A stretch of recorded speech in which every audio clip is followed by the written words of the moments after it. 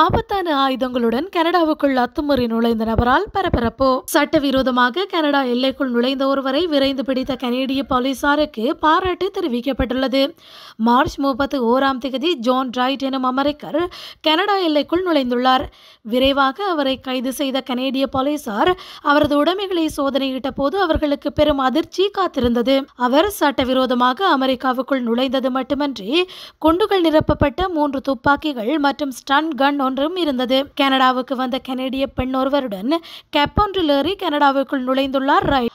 ஆயுதங்களுடன் நாட்டுக்குள் நுழைந்த ஒருவரை அடையாளம் கண்டு விரைவாக அவரை கைது செய்ததால் கனேடியர்களை அச்சுறுத்தல் ஒன்றிலிருந்து காப்பாற்றியுள்ள கனேடிய போலீசாரின் பணி பாராட்டத்தக்கது என போலீஸ் அதிகாரி தெரிவித்துள்ளார். கனடாவுக்குள் நுழைந்து அந்த நபரை கைது செய்தது எப்படி என்பது குறித்த விவரங்களை வெளியிடாத போலீசார் அதிநவீன தொழில்நுட்பம் ஒன்றை பயன்படுத்தி அவரை கைது செய்ததாக தெரிவிக்கப்பட்டுள்ளது.